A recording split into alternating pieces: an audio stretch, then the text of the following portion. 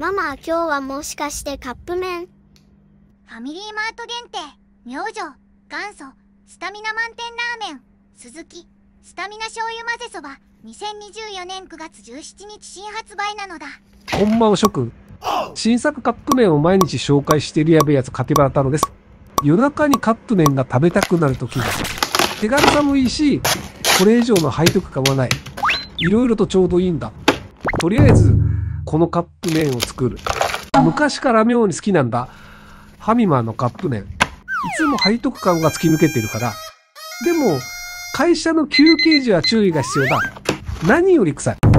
えっ、ー、と今回のカップ麺なんですけどこれスタミナ醤油混ぜそばっていう名前からしてもうガツンとくる味を期待するわけですよね。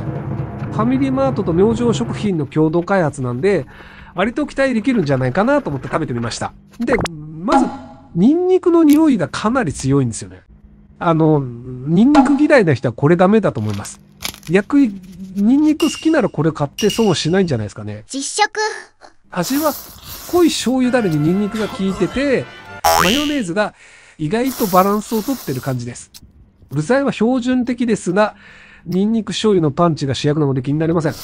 がっつり系が好きな人にはおすすめですが、ニンニク苦手な人や濃い味がダメな人には向かないかも、個人的にはありだと思うので、試してみる価値はありますよ。めちゃめちゃうまいぞ。ニンニクがかなり効いてるんで、食べた後は口臭が気になりますよね。これ、食べるタイミングはちょっと考えた方がいいかもしれませんね。食べるなら夜とか人と会わない予定の日なんじゃないかなと思います。ごちそうさま。さあそれではそろそろおいとまの時間がやってまいりました。皆様が明日も健やかに穏やかに暮らせることをハム太郎とお祈り申し上げます。